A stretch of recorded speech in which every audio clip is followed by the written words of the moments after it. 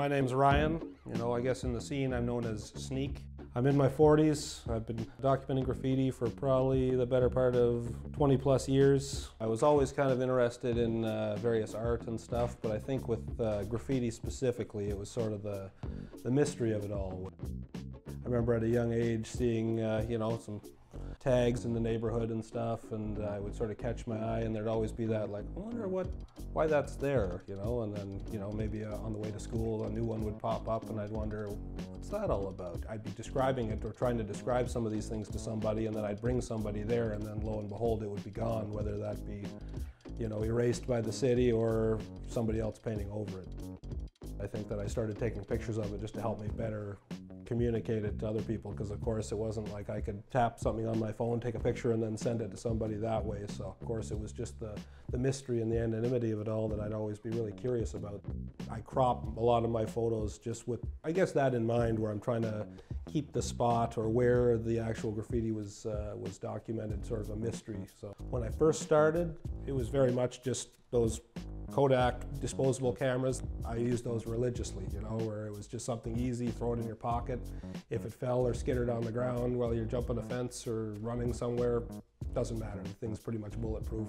Having the physical copy and then sharing them with people, whereas now I can do that without having to print anything and can share them with hundreds of thousands of people. I hesitate to count the amount of thousands of dollars I probably spent on processing film and albums and whatnot. Some of the people that were actually processing the photographs would be like, you're the guy that processes those graffiti pictures. Like, that's so cool. And so, uh, which even hearing that, I had mixed feelings about. Like, can I trust these people? Am I, am I inadvertently like making this less of a mystery by me bringing them to these places and people noticing what I'm processing?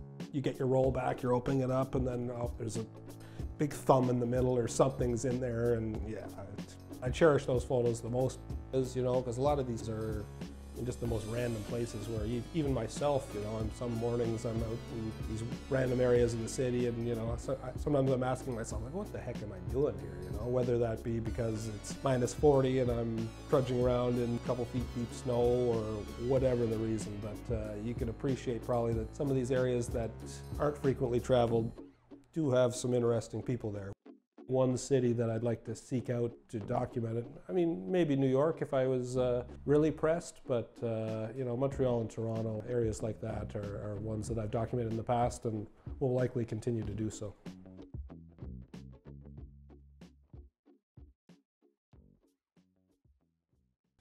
Under your shirt. Thank you.